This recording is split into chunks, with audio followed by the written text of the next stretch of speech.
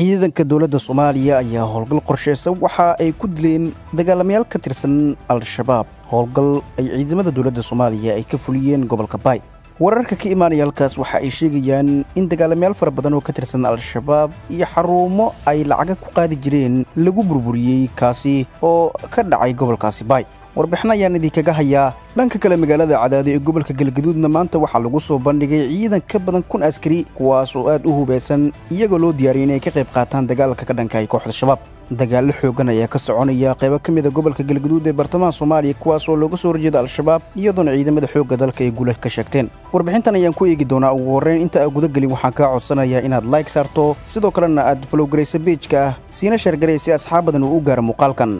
Haddii aan ku bilaawno ciidanka xoogga dalka soomaaliyeed maanta howlgal qorshaysan waxay ka fuliyeen deegaanka lagu magacaabo buulafulaay ee gobolka baydhaca howlgalkan waxa uu ahaa mid lagu beegsanayey xarumo ay al-shabaab ay ku lahaayeen halkaasi iyadoona laga fuliyey saddex xarumood oo ay halkaasi ay kaga sugnaayeen howlgalka koowaad waxa uu ka dhacay goob ay isbaaro u taalay sida ay sheegeen ciidamada xoogga dalka soomaaliyeed afaafka hore ee magaaladaasi. Howlgalka labaad ayaa la soo warinayaa inuu ka dhacay garaash ay al-shabaab ay ku diyaarinayeen qaraxyo kuwaasi oo goobta lagu burburiyey. Howlgalka saddexaad oo ciidamada xoogga dalka soomaaliyeed ay ka fuliyeen gobolka baay waxaa lagu beegsaday goob dagaalamayaasha al-shabaab u ahayd xafiisyo maamul oo ay ku sugnaayeen koox horjoogayaal ahi sida ay tilmaameen. Mas'uuliyiin sarsare oo ka tirsan dhaqdhaqaaqa al-shabaab ayay sheegeen ay howlgalladaasi ay ku qaarijiyeen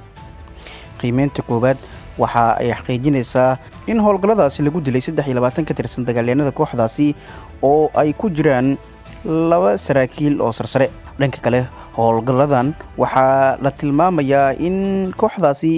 lagaga burburiyey fariisimo ay halkaasi ay ku lahaayeen iyo xafiisyo ay ku sugnaayeen mas'uuliyiin sarsare oo ka tirsan dhaqdhaqaaqa al-shabaab. Waxaana howlgalladan qayb ay ka yihiin howlgallo joogto ahi kuwaasi oo si xowli ah kaga soconaya gobollada dalka soomaaliya iyadoona ciidamada qaranka ay tilmaameen in howlgalladan guul ay ka gaareen. Dhanka kalena haddii aan fiirino magaalada cadaado ee gobolka galgaduud ee bartamaha soomaaliya waxaa la soo warinayaa in maanta lagu soo bandhigay ciidan ka badan kun askari iyo gaadiid dagaal oo aad u fara badan kuwaasi